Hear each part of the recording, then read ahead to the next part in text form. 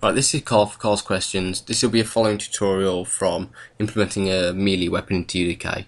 This will show you how to animate the weapon that we implemented and actually have your player swing it on a key press. Um, if you followed along before, you'll have something like this where your weapon will just follow you about, jump, spin, it will follow you. Okay, the first thing you want to do is to add a trigger. So if you right click add actor, add trigger. Now we've got everything that we need in our scene to do this now. So we can go into Kismet, the K symbol here. Uh, first thing we want to do is attach our trigger to our player. Um, this so the trigger that will activate this swinging is always by us. So right click, new action, actor, attach to actor. Now we can just chain that out of this into the in because we can daisy chain them. The target is player 0. Um, we can reuse this one so we can just drag that in. That's fine. Our attachment will be the trigger. So with the trigger selected we can right click new object variable using trigger and we can attach that. That is now done. What we need to now is set up the event, so when you trigger, it plays a matinee sequence. We can move this out of the way now. We can add a new event by right clicking new event using trigger. And we're going to select used. Um, this is so when you press key press, it will trigger the trigger. Um, what we're going to need to do now is select our melee weapon, in this case it's a sword, and you're going to go right click new event using InterpActor and you're going to select mover.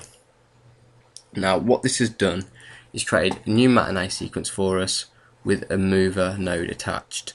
Now we don't need the mover node so we can delete that but if we select all of these we can move them over here and this is all we need.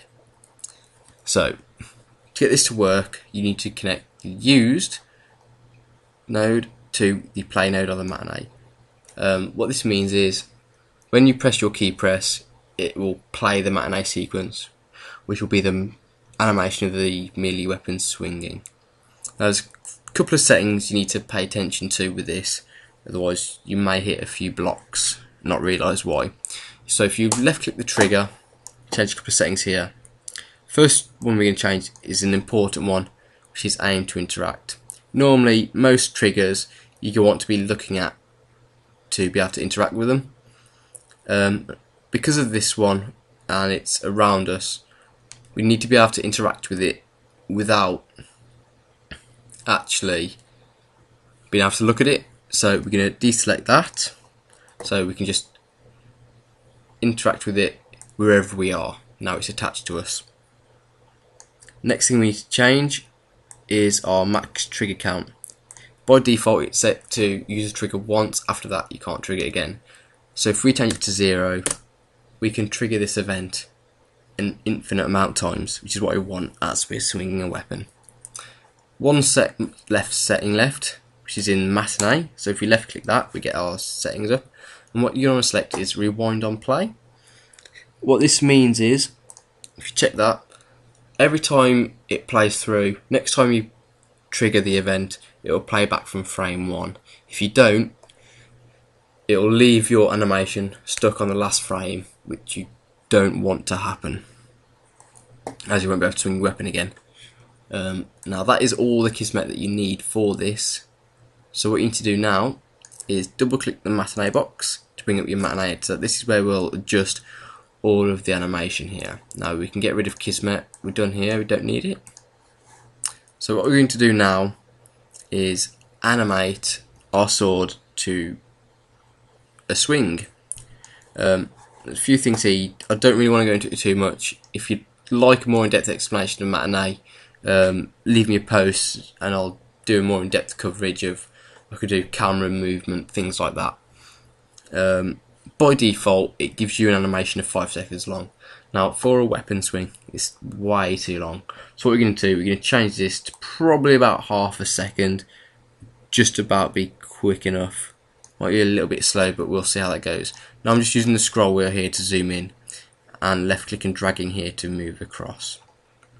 Now, what you're going to do, what you can see is a timeline slide here. This moves across. Um, one of the first things you want to do is left click on movement and right click it and we're going to change it to relative to initial. What this is going to do is it's going to play the animation with the object at where it is at any given time. Rather, if you left it at world frame, it would animate it where the weapon was first created when the level loaded. So if you were a different side of a level and selected world frame and you played it, the weapon would disappear from in front of you and go back to the beginning wherever it was created and play there, not what you want. So what we're going to do is select relative to initial, so left click. Now we're going to animate it. So, um, as it's only a basic swing, we can get away with three frames. The beginning frame of its original position, the end frame of the position it is as well now, so the original position again, and around the middle, sort of swung. So what we're going to do is create some new frames. So as it's dragged straight to the left at zero seconds, if you press the enter key, it'll enter a key and that will store its size, rotation and scale at that point. We're also going to add another one to the end so we know the sword is going to be exactly the same place as where it started at the end of the animation. About halfway through, so about 0.25 of a second, you see there, it doesn't matter, it's only rough um, press enter again to create a frame. Now what we're going to do is actually animate it. So what we're going to want to do is change this rotation now of the object so it looks like it's been swung. What we can do is select that and we're going to rotate probably to somewhere to where you want it really. Um, I'm also going to change it from front view, I'm going to have him swing it left a little bit as well. Um, you'll know if you're actually changing a keyframe. If you look carefully in the bottom left of all your viewports, you'll see in red adjust key 1. If I select, for example, key 0 here, you can see it's still there, adjust key 0, and on there, adjust key 2. So you know which one you're adjusting there. Just make sure that's checked, otherwise it's not going to store the information you've just made.